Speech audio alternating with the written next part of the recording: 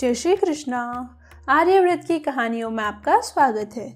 आज मैं आपको सुनाने जा रही हूँ कार्तिक महात्मय का पैंतीसवा अध्याय। तो चलिए शुरू करते हैं।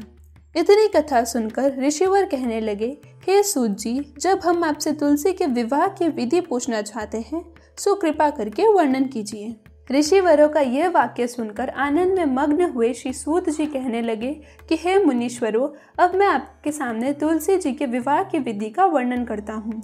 इसलिए आप सावधान होकर सुनने का कष्ट करें। जब उत्तरायण रवि हो, गुरु शुक्र का उदय हो, विवाह के नक्षत्र हो और विशेषकर पूर्णिमा हो अथवा कार्तिक का महीना व भीष्म पंचक हो, तब तुलसी वन में व अपने घर में सुंदर मंडप और उत्तम हवन कुंड के सहित मनोहर वेदी की रचना करना। ऋषित्वज ब्राह्मणों को जो विद्वान और राग द्वेष आदि से रहित हो, निमंत्रण करे और ग्रह यज्ञ आरंभ करता हुआ मातृकाओं की पूजा करे। हे मुनीश्वरों, ऋषियों की उपस्थिति हो जाने पर पहले नंदी मुख श्राद्ध करे, तत्पश्चात के भगवान शालिग्राम बनाकर उनके विधिवत से पूजन सामग्री से पूजा करेगा। बांदी की तुलसी को अपना समर्पण करे। इस प्रकार विवाह विधि से तुलसी जी का पाणी ग्रहण करने के बाद विधि पूर्वक होम करें। इसके बाद सप्तनिक यज्ञमान भाई बंधु और सेवकों के साथ चारों ऋषियों के सहित विष्णु भगवान की प्रेम प्रदक्षिणी करता हुआ शांति पाठ और मंगल गान के साथ साथ आदि बाजे भी बजाने चाहिए। हे मुनीश्वरों, ऐसा हो जाने के बाद यज्ञमान को गौदान और श्रेयादान करना चाहिए। ऋषियों को दक्षिणा देकर विप्र भोज और जाति भोज कराना चाहिए।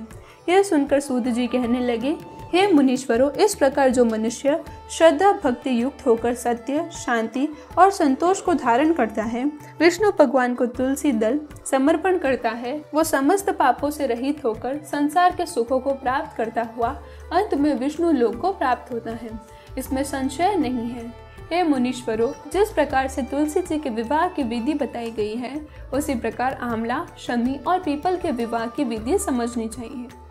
कार्तिक मास के महीने में विवाह के दिन अथवा उसके प्रथम दिन प्रातःकाल नंदी मोक्ष श्राद्ध और मात्याय करके गोधूलीय लग्न में यज्ञमान स्नान करें और शुद्ध श्वेत वस्त्र पहनकर नित्य क्रिया के बाद मंडप के नीचे कुशासन पर पूर्व की ओर मुख करके बैठे और तत्पश्चात आचमन और प्राणायाम करके मंत्रों का उच्चारण करें। मंत्रों का उच्चारण करते हुए यज्ञवान प्रार्थना करे कि तिथि, करण, मुहूर्त, नक्षत्र, ग्रह और लग्न आदि देवता मेरे ऊपर प्रसन्न हो, दुर्गा पांचाली प्रसन्न हो अग्नि पुरागो और विश्व देवा प्रसन्न हो इंद्र पुरागा मरुदगण देवता प्रसन्न हो, महेश्वरी से लेकर सब ऋषिवर प्रसन्न हो ऋषि वेद आदि प्रसन्न हो, ब्रह्मा और यज्ञ ब्राह्मण प्रसन्न हो, श्री सरस्वती श्रद्धा भगवती कल्याणी रिद्धि सिद्धि, तुष्ट पुष्टि और अभय करने वाली देविया सहित गणनायक कुल देवता,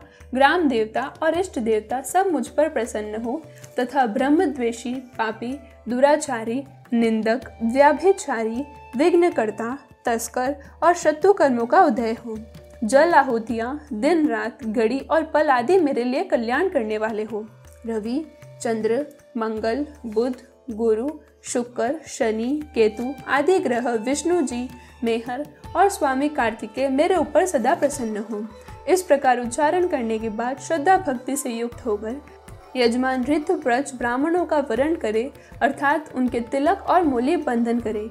ऐसा करने पर ब्राह्मण लोग स्वास्थिक वाचन व पुण्य वाचन पढ़ने के बाद यज्ञमान की रक्षा के लिए भी अपनी प्रार्थना करें। प्रार्थना करने के बाद आचार्य जल का स्पर्श करे। उसके बाद यज्ञमान को मौली बांधे और उनके तिलक करे। इस प्रकार यम जान के रक्षा बंधन और तिलक हो जाने के बाद त्रमुख त्रिज जो नवग्रह मंत्र है, उन्हें पढ़े।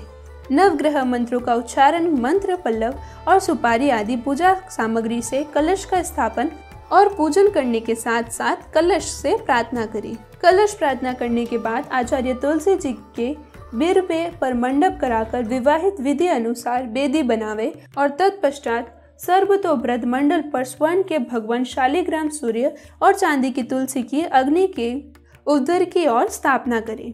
इसी के साथ साथ विष्णु भगवान और भगवती तुलसी का ध्यान करें और देश का उच्चारण करते हुए सब प्रकार के विघ्न, पाप और दुखों को शांति के लिए तथा श्री विष्णु भगवान के प्रीति के लिए यजमान द्वारा पूजा सामग्री से विष्णु जी व तुलसी जी का पूजन कराएँ।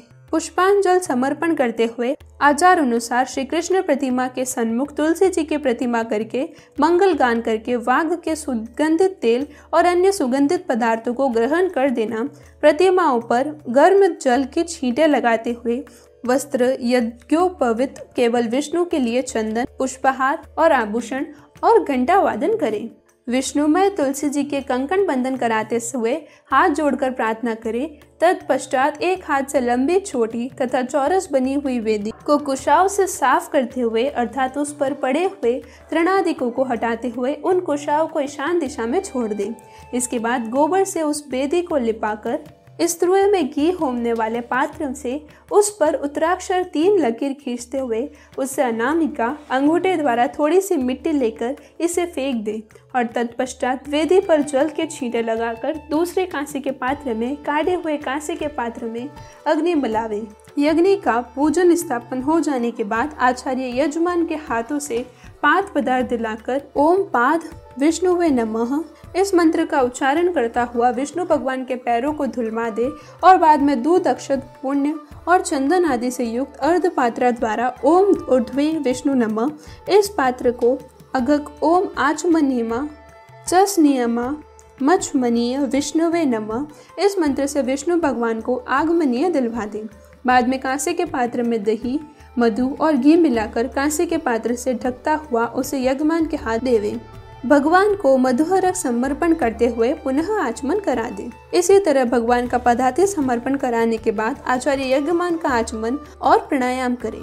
यजमान से भगवान तुलसी का विवाह कराने को कहे, स्वयं भगवती तुलसी का ध्यान करते हुए आचार्य पूजा सामग्री से यजमान द्वारा तुलसी जी का प्रार्थना पूजन करें। यथाशक्ति पूजन करने के बाद तुलसी प्रतिमा के सम्मुख विष्णु भगवान की प्रतिमा करें।